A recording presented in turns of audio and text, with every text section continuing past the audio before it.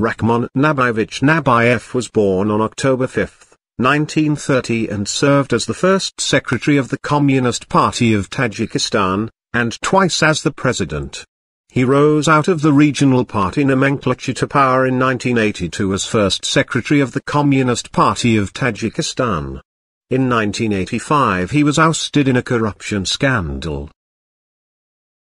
After Tajikistan declared independence from the Soviet Union in September 1991, Nabiyev moved back into power on September 23, but resigned on October 6 as pressure mounted for him to leave office during the campaign for presidential elections.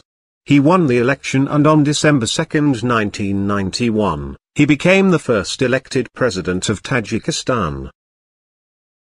Disputes about the election led to street demonstrations, which escalated to civil war in May 1992. On September 7, Nabiyev was on his way to Dushanbe airport when they were ambushed by opposition forces. At the terminal, Nabiyev was forced to resign at gunpoint after discussions with the armed opposition in the airport's VIP lounge before being released.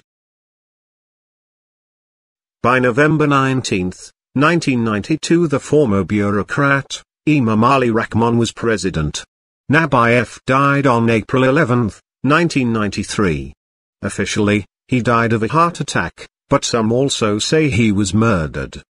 His widow, former First Lady Mariam Nabiyeva, died from smoke inhalation in a house fire on December 28, 2017.